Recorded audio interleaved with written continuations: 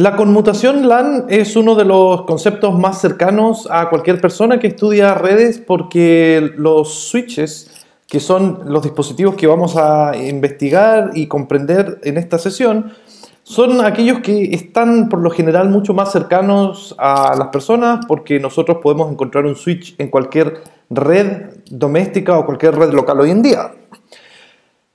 A lo largo de esta sesión nos vamos a enfocar en comprender los aspectos más importantes de los switches, a entender cómo funcionan y cuáles son las tecnologías asociadas a estos dispositivos.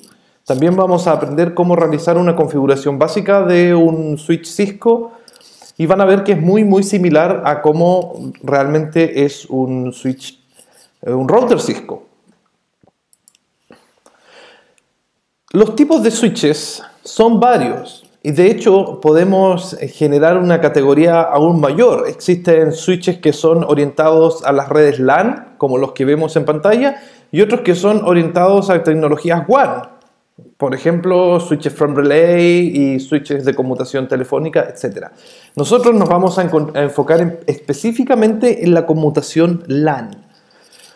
Para esto vamos a aprender algunos conceptos. En primer lugar, existen muchos tipos de switches distintos.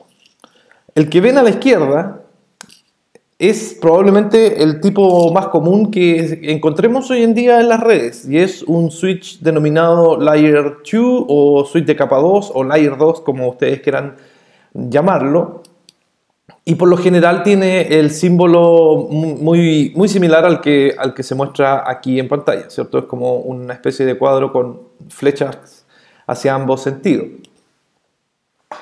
También tenemos una categoría más em, avanzada de switches que son aquellos llamados multilayer, switches multicapa o switches de capa 3. Y finalmente también tenemos los switches virtuales que hoy en día han ido ganando terreno firmemente con la evolución de las redes definidas por software y también la virtualización de data centers. Vamos a ver nosotros principalmente los dos primeros, el tema de los switches virtuales se escapa totalmente a la currícula 60 o los estudios de, de inicio de redes, porque para poder entender los switches virtuales primero realmente hay que entender cómo operan los otros dos switches. Pero como concepto está simplemente aclarar que mm, estos switches virtuales corren dentro de la memoria RAM de un servidor que virtualiza distintas máquinas por ejemplo, aquí tenemos un Linux, un Windows y otro Windows. Y dentro de, esta, de estos dispositivos se genera un switch virtual que conecta estas máquinas y también se les puede asignar VLAN y una serie de cosas que a lo largo de esta sesión vamos a ir viendo. La principal diferencia puede ser entre los switches capa 2 y los switches capa 3. Físicamente, entre ambos no hay muchas diferencias. muchas veces em, uno no puede decir, viendo un dispositivo, si acaso es capa 2 o capa 3. Hay algunos modelos como los que estoy viendo, mostrando aquí, que son switches orientados principalmente a data center y a service provider, que son la línea Nexus. Todos estos son switches Nexus, que son bastante grandes, son como del tamaño de una lavadora puede ser. Son bastante, bastante grandes porque son switches modulares. También tenemos la línea de Catalyst 4500 y Catalyst 6500 eh, que son los que se ven aquí, aquí y también similares a esto.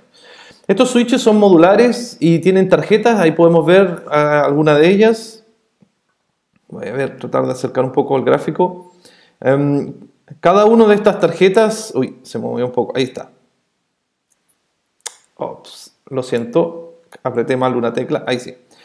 Cada una de estas tarjetas en realidad tiene 48 puertos eh, o más, son eh, distintas interfaces, fase Ethernet, interfaces de fibra, distintos componentes y cada uno de estos dispositivos también tiene múltiples tarjetas supervisoras.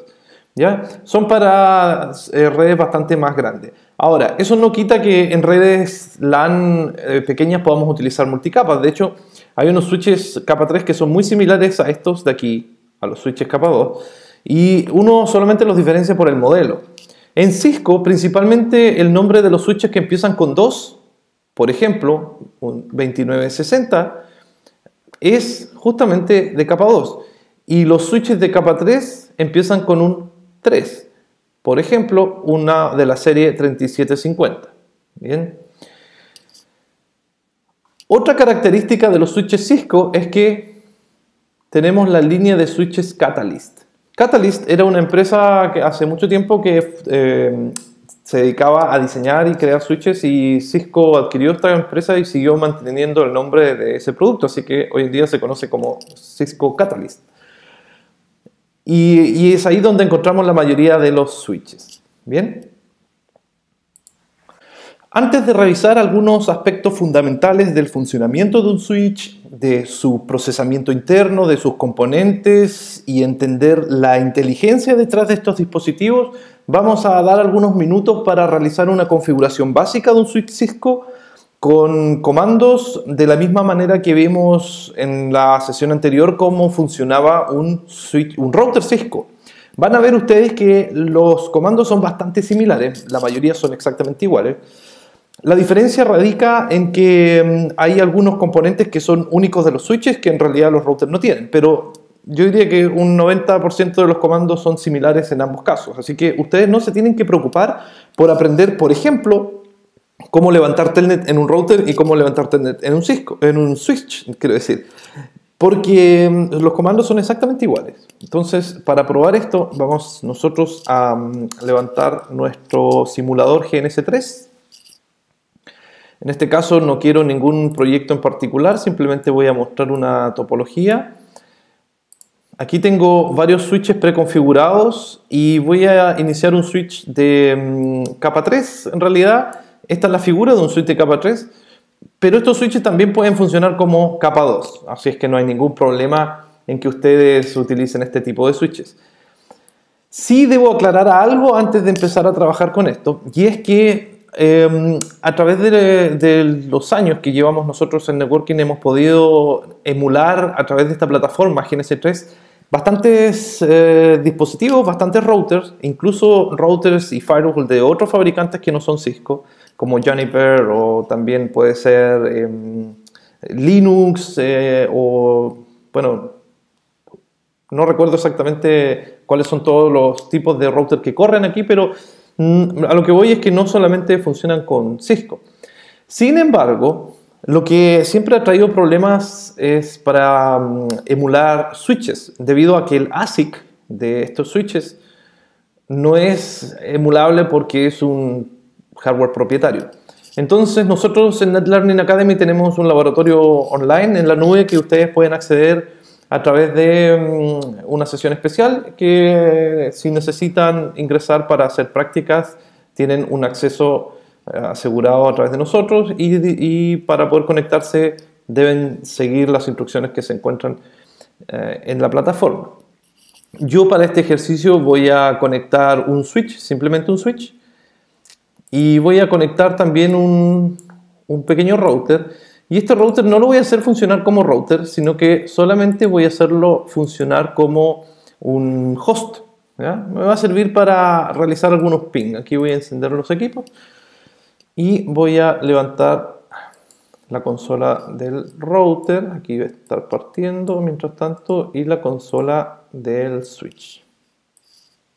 ¿Ya? Vamos a juntar las pantallas Aquí está. Y la voy a acomodar para que podamos verlas claramente. ¿Sí? Una topología bastante simple, la verdad. Aquí tengo el IO1 que es mi switch y acá tengo el IO2 que es el router.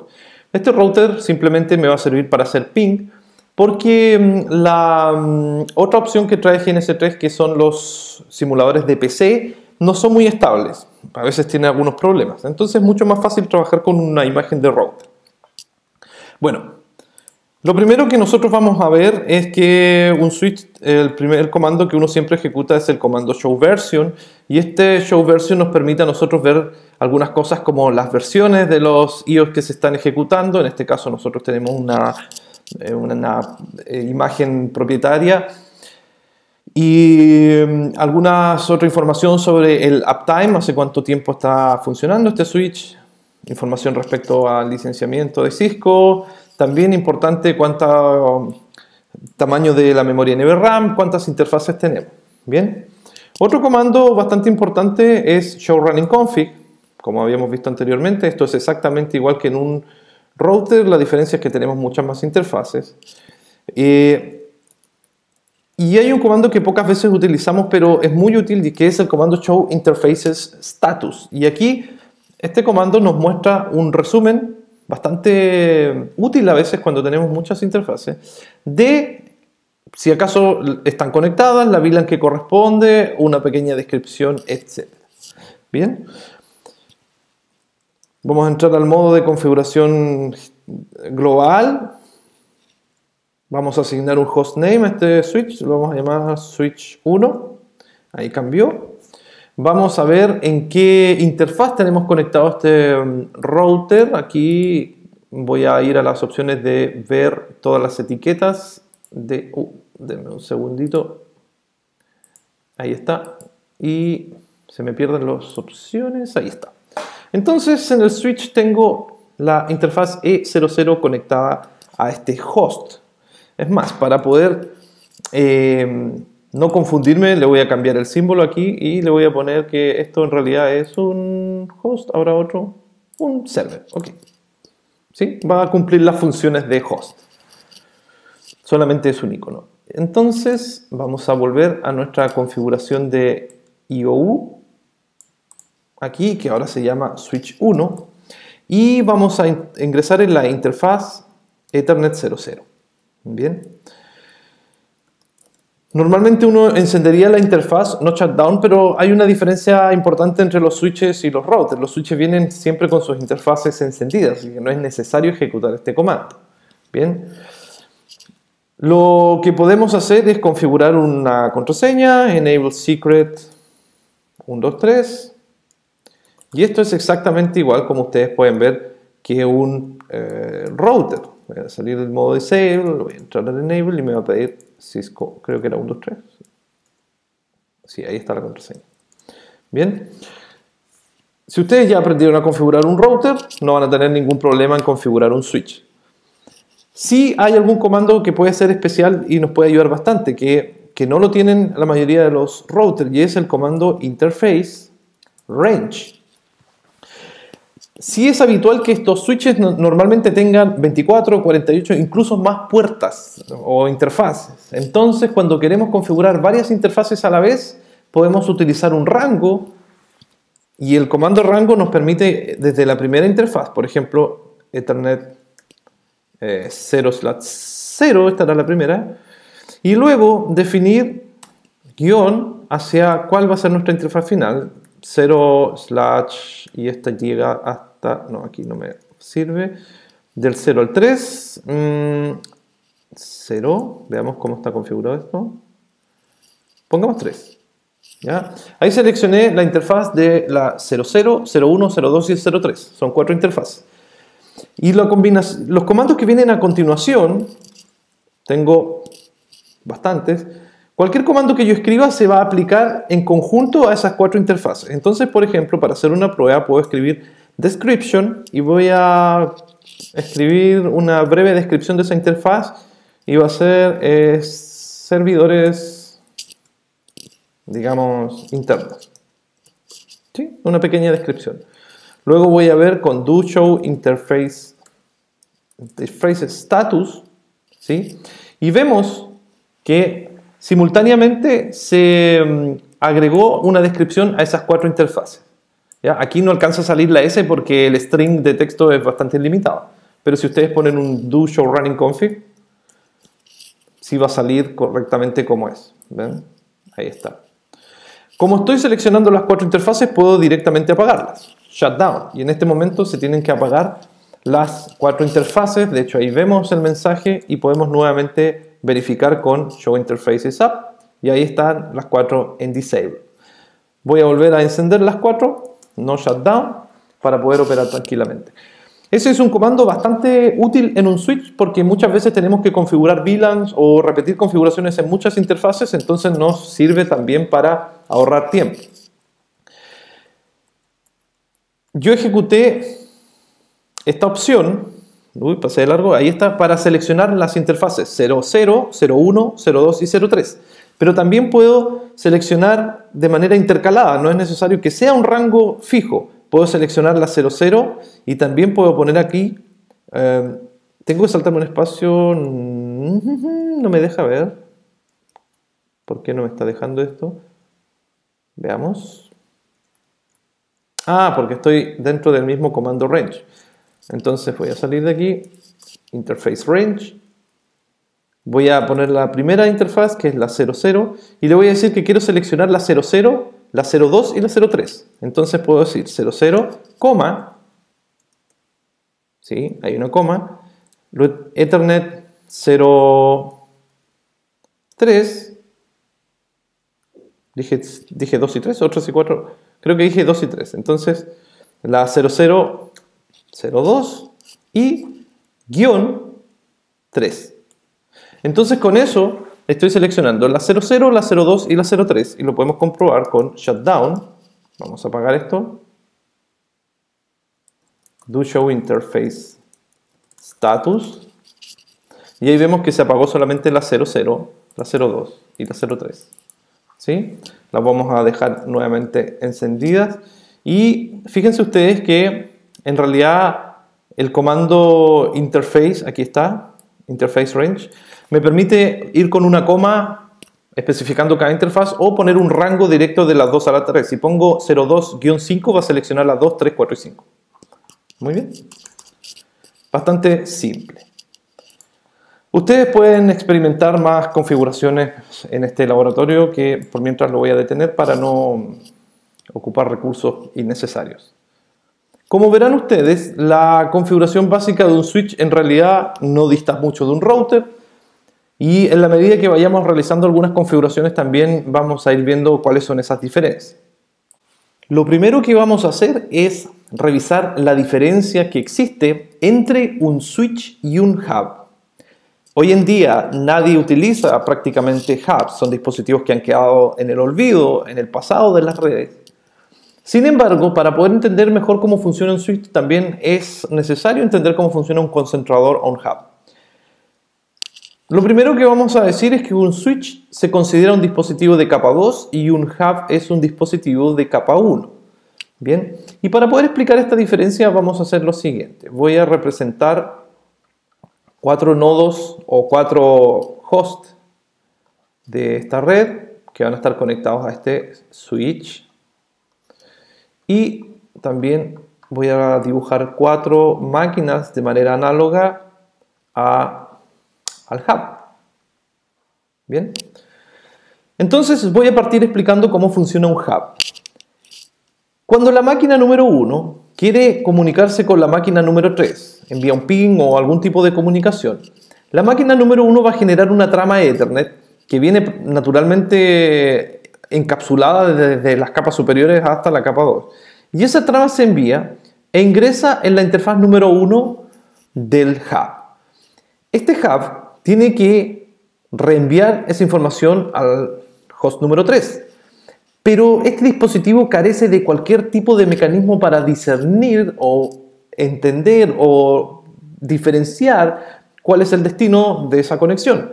Por lo tanto, un hub no tiene ninguna otra alternativa más que reenviar ese mensaje a todos los hosts de la red y de casualidad también le va a llegar al destino.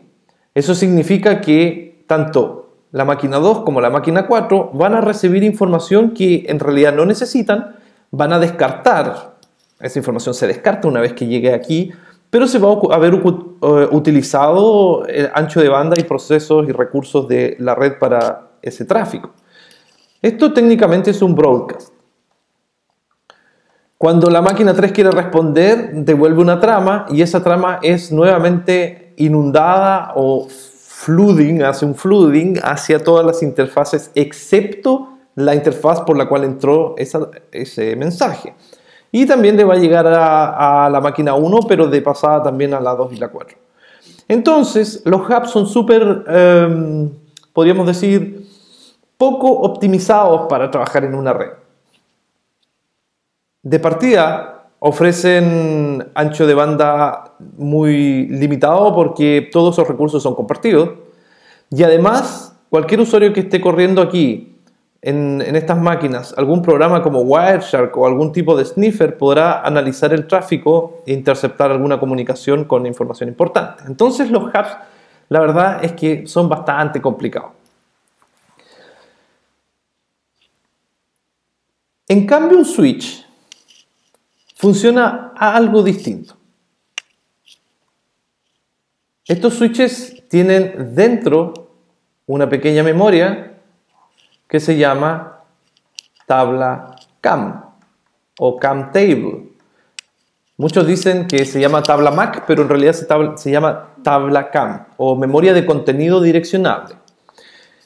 Esto funciona de la siguiente manera. Cuando un host envía una trama, digamos por la interfaz 1, y esa interfaz recibe esta trama, el switch tiene que decir y tiene que ver a quién va destinado. En este caso va a ir destinado al equipo número 3. ¿Cómo se diferencia? Se diferencia porque cada uno de estos dispositivos tiene una dirección MAC. Entonces, vamos a suponer que la máquina 1 tiene la MAC 0FA, 0FB, luego 0FC y 0FD. Cuando la máquina 1 envía esta trama y entra en la interfaz 1 del switch, la trama más o menos tiene una forma así y aquí viene el payload y todo lo que ustedes saben y también las direcciones MAC uh, y el preámbulo y todo. Lo que nos importa es simplemente las direcciones MAC para explicar este ejemplo. ¿Sí? escribí dos veces destino, aquí está source. Esa trama lleva la dirección MAC de destino, es decir, la dirección MAC de la máquina número 3. ¿Cómo sabe la máquina 1 que esa es su MAC? A través de ARP. Anteriormente se utilizó ARP para llenar estas tablas, por lo tanto la máquina 1 sabe en todo momento que la máquina 3 tiene la MAC 0FC y que viene desde 0F entonces, cuando entra la trama en la interfaz número 1, el switch se pregunta para quién va, revisa la trama, mira la dirección de destino, que es 0FC, y va a consultar su tabla CAM. Su tabla CAM es un índice. ¿ya? Vamos a ver inmediatamente cómo funciona la tabla CAM. Y este índice permite revisar en qué interfaz está conectada la MAC número 3. Y de esa manera conmuta automáticamente hacia la interfaz número 3, manteniendo la comunicación privada y dedicada y los hosts 2 y 4 no se van a enterar de esa comunicación. Por lo tanto, el switch ofrece un nivel de seguridad bastante mayor que un hub. Bien, si yo estoy en la máquina 4, el, el único tráfico que voy a recibir va a ser el tráfico unicast que vaya hacia la máquina 4 o que venga desde la máquina 4. ¿sí? Lo que entra y salga desde esta máquina. También voy a recibir el, tráfico multicast si es que estoy en un grupo de interés, por ejemplo, este grupo multicast y se envía un mensaje acá, lo vamos a recibir. Y de todas maneras voy a recibir tráfico broadcast. ¿Bien? Porque es tráfico que va destinado a todos. Pero lo que no va a recibir esta máquina 4 va a ser el tráfico que va de 1 a 3, es decir, el tráfico unicast. Esa conmutación lo hace gracias a su tabla CAM. Para los que no entiendan el concepto de conmutación, esto es muy muy simple. Si ustedes hacen memoria los más viejitos, se van a acordar de algo. Y los que no son tan viejitos pueden haber visto alguna vez una película o algo similar donde mm, en la antigüedad se utilizaba una central telefónica humana ¿Recuerdan estos teléfonos que en realidad eran bastante extraños, que estaban en las paredes y tenían una cosa como así? Y luego, la verdad es que no lo sé, pero tenía otra cosa por aquí donde la persona hablaba, ¿cierto? Voy a tratar de dibujar una persona aquí.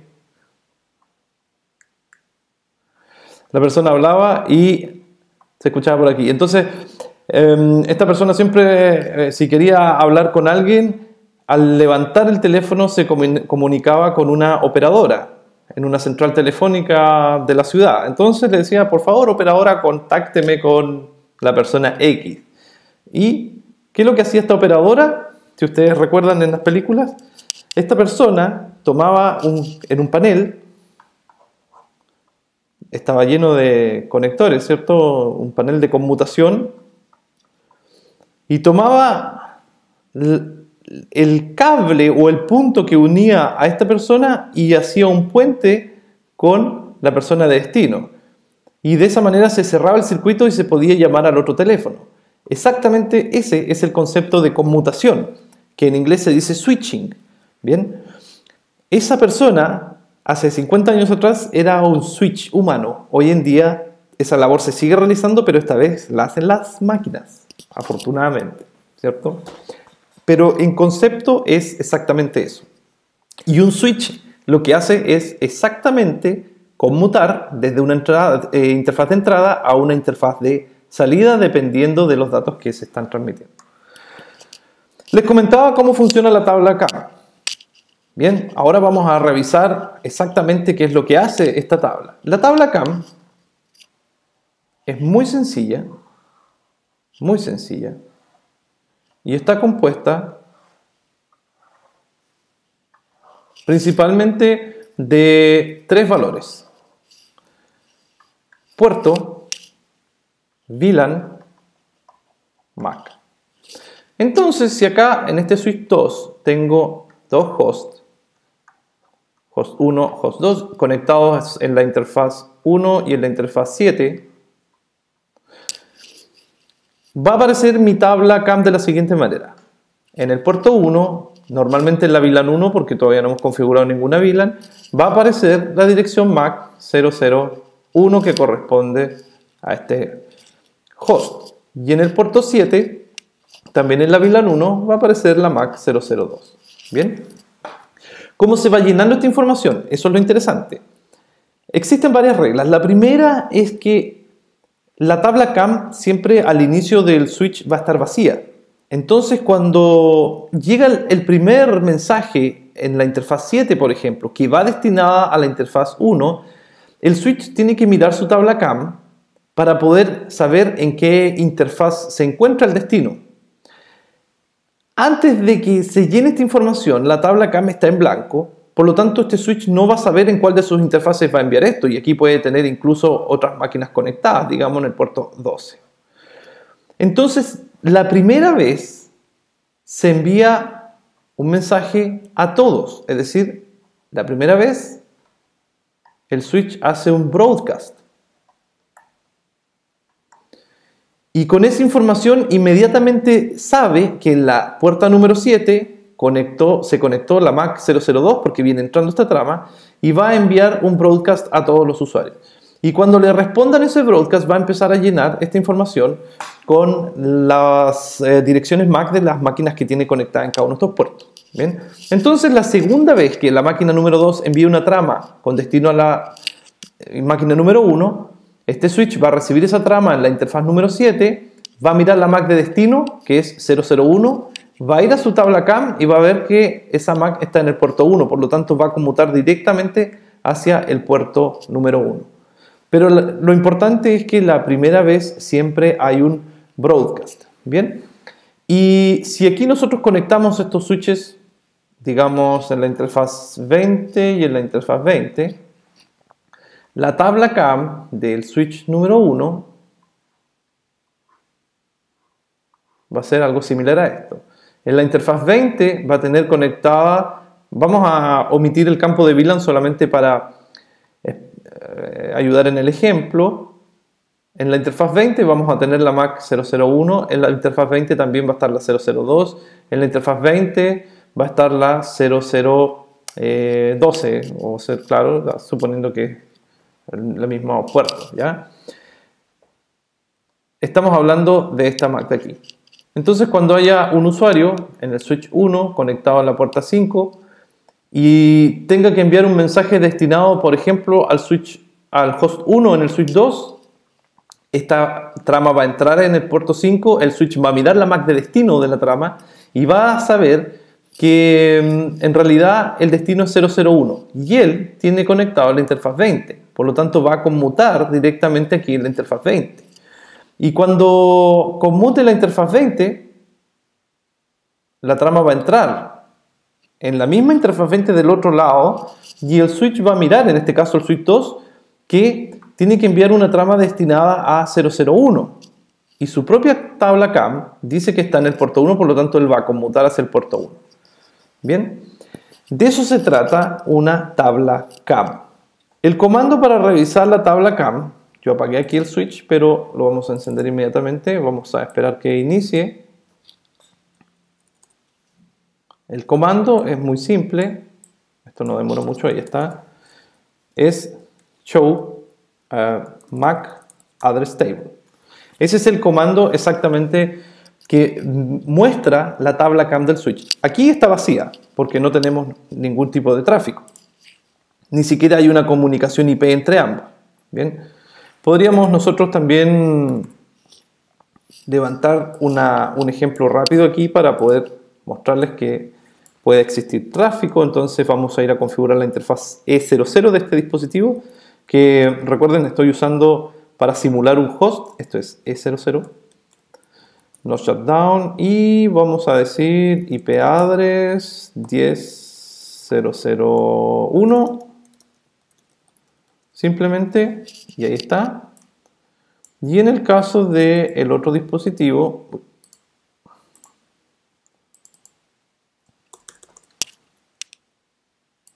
que es un switch en la interfaz E00 también vamos a poner no shutdown y vamos a decir que la IP es... Em, ah, tengo que agregar este comando especial para poder asignar las direcciones, pero en ese momento voy a convertir al dispositivo en un router, así es que mm, para hacer más fácil esto, lo voy a dejar como estaba y voy a ejecutar una serie de comandos que después vamos a explicar.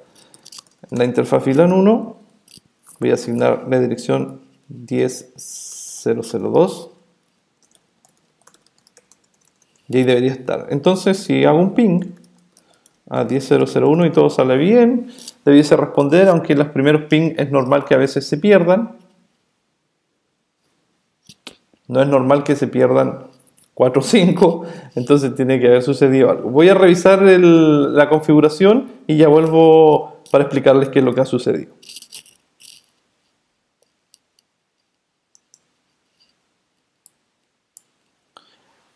Era bastante simple, la interfaz por algún motivo no subió, así es que la apagué y la prendí de nuevo y ahí funcionó. Entonces ahí tengo el ping hacia el dispositivo debajo, hacia nuestro host. Como ya tenemos tráfico, podemos ver, que es lo que les quería mostrar aquí, show MAC address table. Bien, y en este momento tenemos en la VLAN 1 la MAC que aparece aquí y que fue aprendida de manera dinámica a través del puerto ET00. Este es mi puerto local. Bien. En, en, la otra interfaz, aquí en el host, puedo agregar una segunda IP. Voy a poner la IP 8. Y este router me permite poner una IP como secundaria. También debería poder llegar con ping a la IP 10008.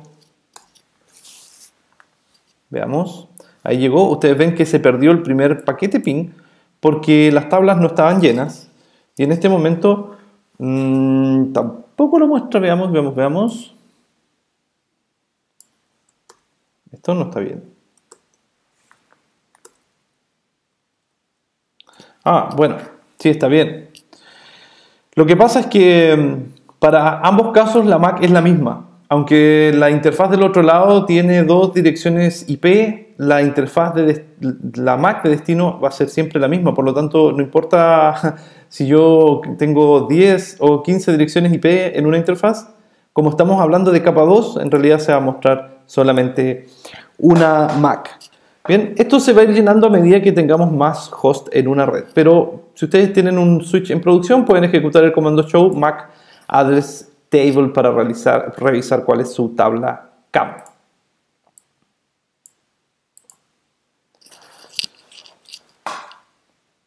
Esto es materia ya más teórica, pero igual de importante. Y es cómo funcionan los switches en realidad. Existen los denominados métodos de reenvío, forwarding method. Principalmente son dos, con una variable del segundo método. Tenemos el primer método que se llama store and forward o almacenamiento y envío. Luego tenemos cut through o método de corte. Y tenemos una variación del cut through que se llama fragment free o libre de fragmentos. ¿De qué se trata esto? Estos son tres formas distintas de, cómo trabaja el switch cuando tiene que reenviar una trama. Veamos que un switch, si tiene una máquina conectada en una interfaz, por ejemplo la interfaz número 1 y la máquina 2 conectada en la interfaz número 10, ¿sí? el switch tiene que conmutar.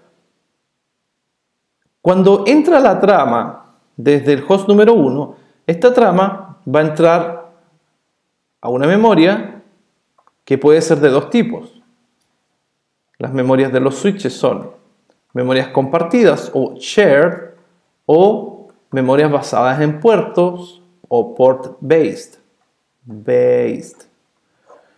Son dos tipos. Las memorias compartidas son una única memoria general para almacenar la información de todos los puertos y la memoria basada en puertos significa que cada una de las interfaces tiene una pequeña memoria para almacenar estas tramas. Hoy en día se ocupa principalmente la memoria compartida en formato de RAM porque no son muy caras y cada vez las memorias RAM son más baratas, así que sale más conveniente utilizar una memoria compartida. Y aparte de baratas, son bastante más rápidas. Entonces, el problema está en que cuando entra una trama aquí, el switch tiene que decidir qué hacer con esa trama. Para poder reenviarla, tiene tres posibilidades. La primera es Store and Forward o almacenamiento y envío. El nombre es muy importante porque describe exactamente lo que hace un switch que trabaja bajo el modo Store and Forward. Store and Forward significa que si la trama pesa 900 bytes, va a esperar hasta el último de los bytes, la va a almacenar completamente en una memoria temporal y cuando llegue el último bit incluso de esta trama, se va a reenviar. Bien, la razón de eso es muy simple. Lo que ustedes están viendo aquí en pantalla es algo que por favor no deben olvidar nunca y traten de recordar este eh, elemento que es la trama Ethernet. La trama Ethernet es un componente bastante importante para hablar de conmutación, para hablar de VLANs y en general de comunicación en las redes. Entonces, si ustedes recuerdan bien cómo está compuesta esta trama, se les va a facilitar mucho el entendimiento de bastantes tecnologías. Incluso la que estamos viendo ahora, que es Store and Forward. La, trama de Ethernet está compuesta de varios campos. En primer lugar, el campo de preámbulo, que son 8 bytes. Luego viene la, la MAC de destino, la MAC de origen, con 6 bytes cada una. Luego viene un campo de longitud tipo. Entre medio puede venir un campo de VLAN cuando están creadas viene un campo de data que es variable, que viene em, entre 46 y 1500 bytes aquí, y lo que se guarda aquí es justamente un paquete IP. El paquete IP completo que viene desde las capas superiores. Y finalmente tiene un campo que se llama FSS. FSS es Frame Check Sequence, secuencia de verificación de trama. Y esto es lo importante. FCS es un campo que trae la trama Ethernet para validar que no hay corrupción de datos en una transmisión. Entonces, cuando tengo una máquina 1 conectada con una máquina 2, por ejemplo un switch o dos PCs, como ustedes quieran, y sale la trama desde la máquina 1, esta trama va a llevar un valor de FCS explicado en un formato binario de 4 eh, bytes de longitud, estos son 32 bits. Bien, en formato hexadecimal podría ser 3FC1, etcétera, etcétera. Vamos a redondear en 3FC1 solamente para explicar esto. Lo que hace este campo es lo siguiente. Antes de que esa trama se envíe, antes de que salga por la interfaz de red, el dispositivo toma todos estos campos, todos esos bits, y le aplica una suma binaria, un procedimiento, un algoritmo de tipo CRC o comprobación de redundancia cíclica, y obtiene un valor, un valor binario, único, un identificador de esa operación, que aquí estamos resumiendo como 3FC1. Y ese valor se agrega en el campo FCS. Entonces se envía hacia el otro extremo. Cuando el host remoto recibe esta trama, va a tomar los mismos campos y va a realizar exactamente el mismo procedimiento. Entonces, en el número 2, el valor de FCS tiene que ser exactamente el mismo. Porque eso significa que durante la transmisión de 1 a 2 no hubo ninguna modificación ni pérdida de bits. Pero si producto, por ejemplo, de una interferencia electromagnética en el campo, en el cable o lo que sea, un componente externo, hay alguna modificación de un solo bit de toda esa trama, entonces el FCS va a salir totalmente erróneo y va a arrojar un valor que en realidad no tiene ningún, ninguna relación con el anterior. Incluso cuando estamos hablando de un solo bit que cambie de 0 a 1, el resultado va a ser totalmente distinto. Si es que en la máquina 2, cuando comprueba el FCS, recibe un valor distinto al que viene transportado dentro de esta trama, significa que hubo un error de transmisión. Por lo tanto, en este caso, este switch o este dispositivo eh, no va a procesar esa trama. La va a descartar con un error de transmisión. Entonces, el método de Store and Forward va a esperar hasta el último, último bit de esta trama para poder incorporar el FCS. En otras palabras, es un método que es más lento porque tiene que esperar toda la trama completa, pero se asegura de que las tramas que lleguen son válidas. ¿Bien? En contraposición, tenemos el método cut-through, el método cut-through o método de corte es bastante más rápido, mucho más rápido que el otro, store and forward. Si tenemos nuestro switch aquí con host 1 y 2, en el store and forward va a entrar la trama, el switch va a esperar completamente que llegue esa trama y luego va a conmutar. En cambio, en cut-through lo que se hace es esperar solamente los primeros 14 bytes. ¿Por qué los primeros 14 bytes? Porque esos 14 bytes contienen el preámbulo y contienen además la dirección MAC de destino. Entonces, si es que este switch funcionase bajo el método cut-through, cuando entre la trama no tiene que esperar hasta el último bit, sino solamente los primeros 14 bytes, y basta que lea la dirección MAC de destino para poder conmutar. Entonces, la conmutación es mucho más rápida que en store and forward. Pero que sea más rápido no significa que sea mejor. Porque puede ocurrir que esto sea una trama defectuosa y que en realidad no lleva ningún tipo de mensaje válido, de hecho puede ser una colisión, y como este método no revisa, no se asegura de que las tramas sean íntegras, simplemente puede estar enviando una trama, por ejemplo, que sea de 14 bytes justos, o tal vez de 15, que sean trozos de tramas inútiles. Por lo tanto, cut-through sí es más rápido, pero también es em, frecuente que tenga errores. a diferencia de Store and Forward, que descarta los errores porque va a esperar hasta el último campo de la trama, que es FCS.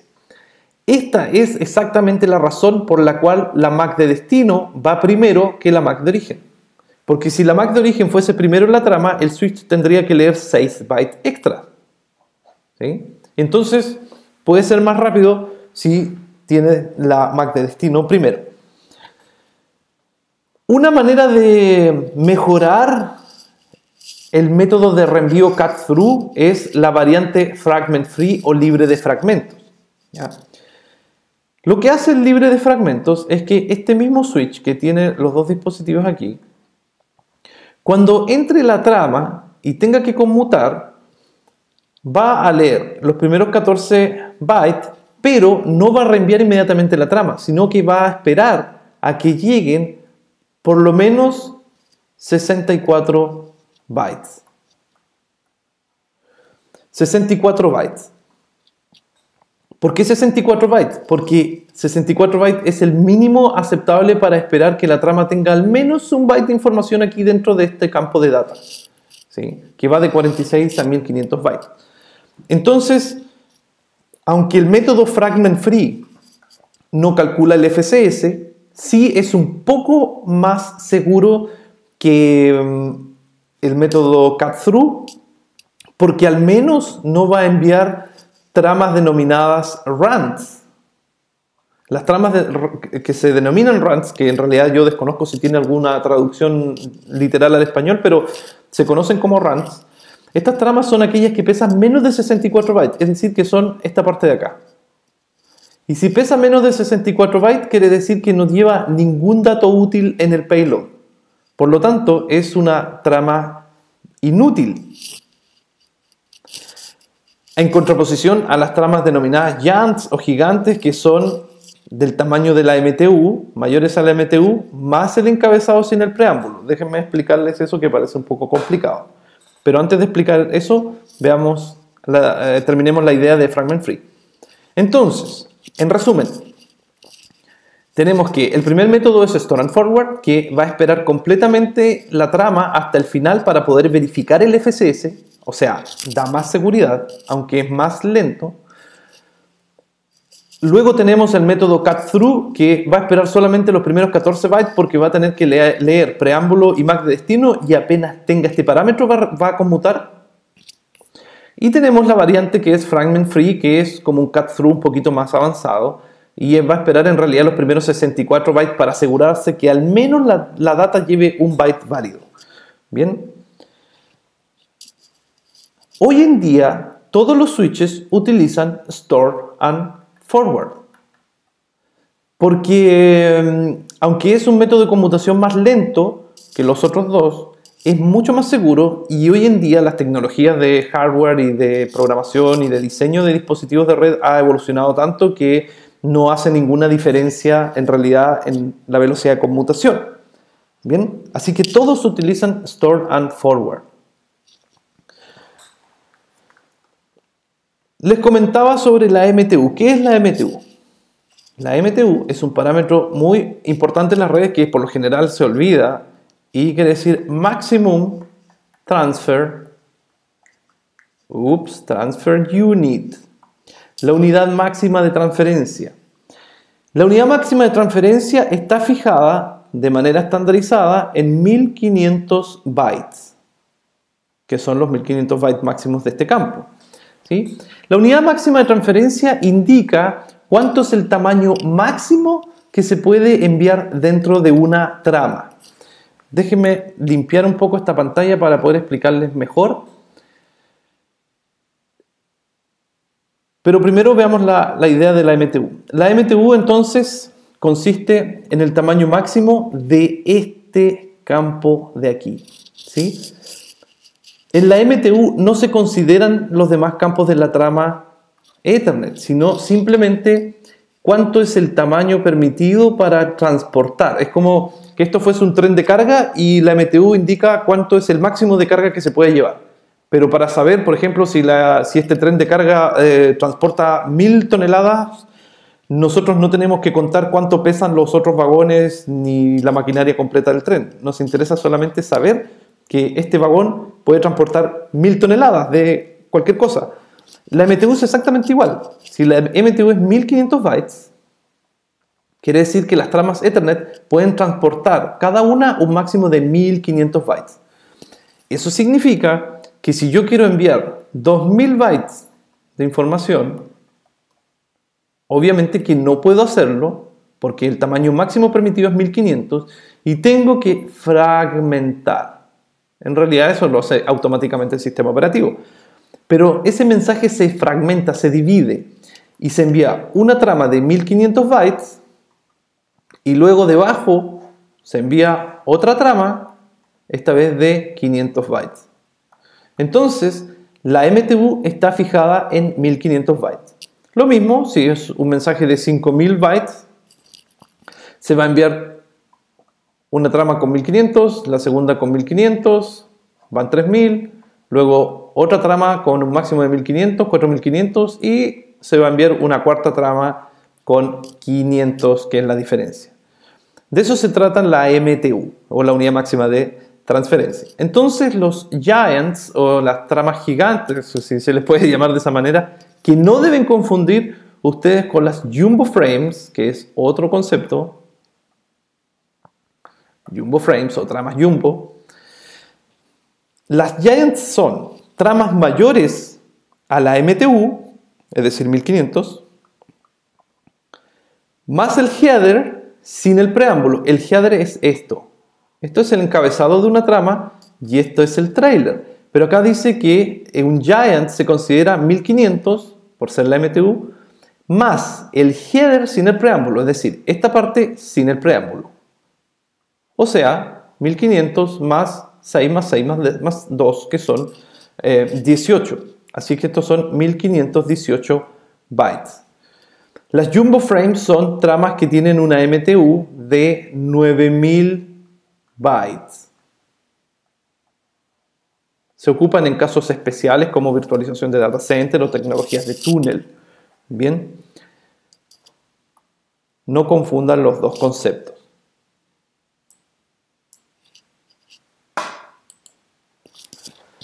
Eso es cómo funcionan los switches a nivel de conmutación, los distintos métodos de conmutación. Bien, que es un tema súper importante, así que por favor profundicen un poco más en eso si no les quedó bastante claro o eh, envíen sus preguntas en los comentarios debajo del video para poder eh, ayudar. Otra de las ideas de los switches es la evasión de loops o bucles. Entonces, vamos a definir algo. Todas las redes de hoy en día deben tener bucles físicos. ¿sí? En la capa física, los bucles está ok. Pero cuando hablamos de capa lógica, los bucles están mal. Entonces, ¿cómo puede ser esto? Nosotros para poder tener una red un poco más estable, más firme, más eh, resistente, resiliente y redundante si quieren, vamos a levantar topologías que son redundantes entre sí físicamente. Entonces, si este usuario que tenemos aquí quiere comunicarse con el usuario del otro lado, entonces va a tener la alternativa de los dos enlaces.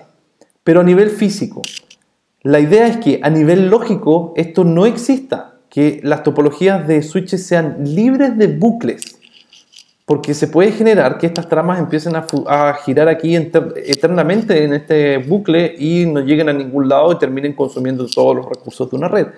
Entonces, si en rojo tengo dibujada la topología física, podemos decir que la topología lógica está, en este caso la voy a escribir ahí de color azul. ¿Mm? En otras palabras, este enlace automáticamente se desactiva. Y eso se hace gracias a un protocolo que se llama Spanning Tree Protocol o STP, que automáticamente detecta estos bucles y los bloquea y genera una topología de capa 2 libre de bucles. Pero si este enlace se pierde, entonces lo que va a suceder es que se va a levantar automáticamente, automáticamente el otro de allá. ¿sí? Asumamos que esa cruz no existe y ahí van a poder conmutar. STP no es materia de este curso, es un protocolo bastante complejo de entender y demora bastante tiempo en procesar todos los componentes que tiene, pero sí está disponible en nuestro curso de upgrade de SSNA que tiene estos tópicos ya más avanzados. Nosotros solamente en este curso vamos a mencionar que existe una tecnología que se llama Spanning Tree que permite evitar los bucles lógicos. ¿Ya? Y finalmente voy a explicar, antes de terminar, un concepto que es bastante importante en las redes, que es el modelo jerárquico de Cisco, generalmente se le conoce así, o también modelo jerárquico en general, que es la forma de cablear correctamente una red LAN. ¿Bien?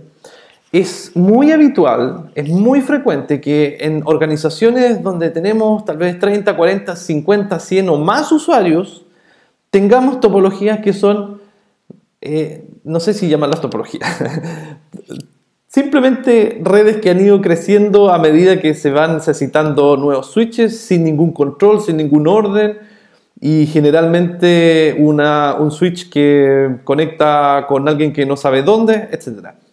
Probablemente más de alguno que me esté escuchando recordará ese caso o lo habrá visto en algún lado. Y también habrá visto cosas como un switch de 24 bocas que conecta a internet con un router y resulta que creció la empresa, nos quedamos cortos de bocas y compramos otro switch de 24 bocas y tenemos más usuarios, pero los conectamos uno a uno y resulta que la empresa siguió creciendo y tenemos 10 usuarios más y compramos otro switch de 24 puertos para conectar nuestros usuarios y vamos conectando todos los switches en lo que podríamos llamar una cascada. Este, esta conexión plana o lineal de switches. En realidad, este tipo de conexiones es muy frecuente encontrarlas en las empresas donde no hay especialistas en redes. Y si es el caso de ustedes, no se sientan mal, porque lo bueno es que sí se puede cambiar y hay modelos que ya están estudiados y están súper bien documentados de cómo poder cambiar esta tragedia de red y hacerla funcionar de manera mucho más óptima. Porque este tipo de modelos, que es, en realidad creo que yo no podría llamarlo modelos, sino más bien este tipo de infraestructura no planificada, tiene bastantes problemas. Un problema muy grave es que si se corta ese enlace, todos los demás quedan sin servicio. Lo otro es que si tengo muchos usuarios, probablemente este enlace aquí esté súper congestionado. Entonces, la verdad es que las redes tienen modelos que nos permiten trabajar de manera mucho más ordenada y hay algo que quisiera destacar también. Finalmente, a los usuarios de los sistemas informáticos no les interesa en absoluto que nosotros tengamos una red con la última tecnología. Lo único que les interesa es que sus aplicaciones funcionen correctamente. Estamos hablando de la capa de aplicación, la capa más alta del modelo OSI. Porque es lo que los usuarios ven directamente, son las aplicaciones. Pero para que las aplicaciones funcionen bien, el sustento absoluto es la red. La red es la infraestructura, es el camino. La red es todo. Si la red está mal armada, no hay aplicación que funcione bien. Si la red tiene un problema, todas las aplicaciones van a tener un problema. Si la red está congestionada, todos los usuarios van a experimentar congestión. Entonces, se hace muy importante contar con una red profesional, una red que tenga algunas características que se requieren en las redes modernas, como por ejemplo em, escalabilidad. Toda red necesita escalabilidad, que pueda ir creciendo fácilmente. Tener un modelo que le permita fácilmente crecer, no como esta otra cascada que si nuestra red sigue creciendo y de pronto contrataron a 200 usuarios más, vamos a tener que seguir con cascadas y cascadas hasta atrás y cada vez con un rendimiento peor. Necesitamos también redundancia para poder ofrecer seguridad, redundancia de enlaces y redundancia de equipamiento. Es decir, que no todo dependa de un único dispositivo en la red, que si se cae todo se muere. También necesitamos calidad de servicio para redes convergentes, que tengamos telefonía IP, data, video, etc. Pero las dos primeras son probablemente las más importantes. Entonces, ¿cómo diseñamos una red que tenga escalabilidad y redundancia asegurada? Para eso utilizamos el modelo jerárquico de redes. Este modelo nos ofrece tres capas. La capa más cercana a los usuarios, que es donde tenemos aquí los distintos usuarios de la red, se le denomina capa de acceso. Access, con dos C, ¿cierto? Access o capa de acceso. Se llama así porque son los usuarios eh, que acceden a esta red. Es justamente el lugar donde los usuarios acceden, usuarios o dispositivos finales como impresoras, ese tipo de cosas. Luego tenemos una capa superior que se llama distribución.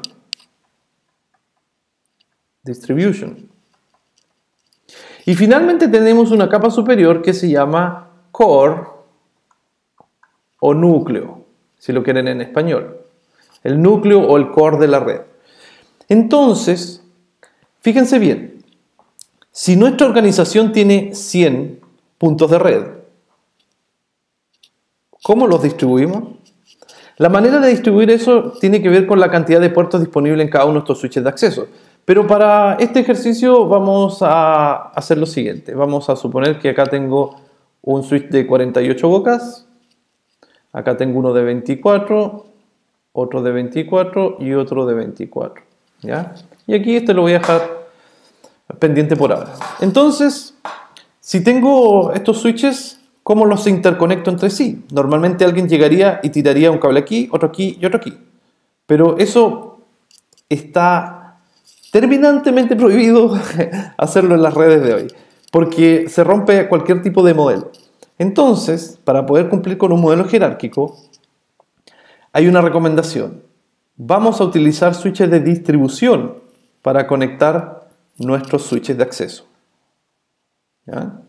Entonces, si hay un usuario en una red que quiere comunicarse con un usuario de la misma red, no hay ningún problema porque el switch lo va a acomodar directamente. Pero si hay un usuario que se quiere comunicar con otro, llega aquí y va a ir al switch inmediatamente superior y va a bajar. Ustedes podrán pensar que eso es ineficiente, pero todos los switches hoy en día vienen con lo siguiente. Si ustedes pueden observar aquí un poco, los switches traen las últimas interfaces que ustedes están viendo ahí, ¿cierto? La que justamente tengo el mouse encima, en este caso tengo cuatro, esas interfaces que por lo general vienen aparte en los switches tienen un nombre y se les denomina App Link. App Link. Y los App Link siempre son más rápidas que las puertas de acceso. Entonces, normalmente un switch de 24 más 2 significa que tiene 24 bocas de 100 megabits por segundo más dos bocas de 1 gigabit cada una. Y se ocupan estas bocas giga para conectar hacia arriba. Estos son los app link. ¿Bien? Y generalmente tienen dos, en nuestro ejemplo que veíamos tienen cuatro, porque la idea es conectar, esta vez, los switches al otro switch de distribución. Aquí también. Entonces, de esa manera, estamos creando redundancia de enlaces, porque si se muere este enlace, inmediatamente el acceso está asegurado a través del otro enlace. Y si llegase a pasar algo tan terrible como que este equipo deja de funcionar, los enlaces siguen siendo funcionales ya que tienen una alternativa. ¿Bien? Entonces tenemos asegurada la redundancia de la red. Incluso, como este dispositivo tiene, el que mostraba eh, recién, tiene cuatro interfaces AppLink eso significa que es un switch diseñado para conectarse con cuatro interfaces de distribución, con cuatro switches de distribución. Incluso aquí podríamos tener un cuarto switch si es que la red es muy grande y podríamos seguir conectando nuestros dispositivos. Creo que lo hice mal aquí porque está redundante. Este va hacia aquí, ese va hacia aquí y ese va hacia acá. Y él también. Bien. En la capa de distribución sí es que podemos tirar enlaces entre medio, no hay ningún problema, incluso podemos tirar enlaces redundantes con agregado de enlaces con Ether Channel, que es un tema que viene también en los cursos de actualización de CCNA. Y la capa de núcleo o core es la capa más rápida, donde aquí está todo interconectado con todo, ¿cierto? Aquí está una capa súper rápida y mm, que permite incluso enlaces redundantes y todo lo que sucede aquí se conmuta de manera muy veloz. Las políticas de calidad de servicio, políticas de control de acceso, todas las restricciones suceden en la capa de acceso, aquí. Y se espera que las capas superiores estén libres de cualquier tipo de restricción, que el tráfico sea lo más rápido posible. Otro nombre para el núcleo de una red también es backbone. Es muy común en los proveedores de servicios hablar de backbone, Backbone significa columna vertebral de la red, que es lo mismo que el concepto de núcleo o core. Bien, así que el modelo jerárquico es este. ¿Y por qué ofrece escalabilidad? Esto es muy simple. Porque si teníamos nuestros 100 usuarios, ¿cierto? que están distribuidos de esta manera, aquí con estos switches, y de pronto llegó un requerimiento para conectar a 30 usuarios más, Lo único que tenemos que hacer nosotros es agregar un switch nuevo, un solo switch, y conectar sus uplink a los distintos switches de distribución. Y con eso, inmediatamente agregamos soporte para 30 usuarios más y no se pierde en ningún momento la velocidad de la red, no hay congestión, no hay riesgo de que si se corta un enlace como lo que vimos con el modelo en cascada, se pierda toda la conectividad e incluso podemos seguir agregando más switches a esta red para poder agregar más usuarios. ¿Cuántos switches de acceso podemos tener? Tantos como interfaces tengan los switches de distribución. Si estos switches de distribución tienen 24 interfaces gigabit, entonces podemos conectar hasta 24 switches de acceso con sus uplink. Así que es un modelo que permite crecer, es un modelo que ordena un poco la distribución de redes y yo los invito a ustedes a revisar sus modelos de redes que están por ahí en algún lugar y ven eh, que puede haber una red defectuosa y pueden hacer algún cambio, algún proyecto también que les permita modificar su configuración de red para ser optimizada. ¿Bien? Esta ha sido una sesión bastante larga, pero muy útil para poder entrar de lleno en el mundo de switching. Y luego vamos a entrar en tecnologías mucho más específicas, por ejemplo, creación de VLANs, que es un tópico súper importante también, enlaces troncales y también enrutamiento entre VLANs, entre otros tópicos. Yo me despido de ustedes por ahora y espero haberlos ayudado a comprender un poco más de este fantástico mundo de las redes.